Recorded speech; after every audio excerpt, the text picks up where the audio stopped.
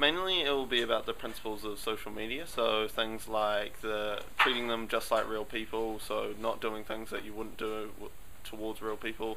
Other things like ensuring that you are making a conversation with them that goes both ways. So you're not just telling them things and then expecting them to appreciate you. You want to make them involved in your in all your ventures online. Uh, so I'm going to take away the fact that I've learnt how to engage people and how to really um, make them interact. And I'm so excited with the other projects that I have to really get them involved. And I've been waiting for something like this so I can learn all these things. So yeah.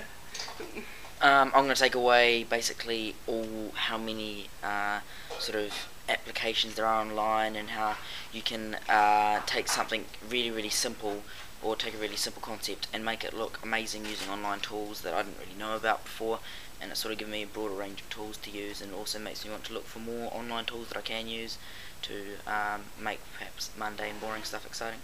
Uh, the power of uh, using social media and video to encourage people to do something. Um, how to make people as excited through social media about stuff that we're doing as we are, pretty much, yeah. Oh well, um, just that there's so many applications, different means of kind of putting stuff online, you know, to make things a bit more sort of attractive than simply putting kind of just a, a bunch of text down. That actually there's all sorts of different sort of video and sort of applications that we can use, and actually they're not too difficult to use. They're relatively simple and easy to do. So yeah, that was really good.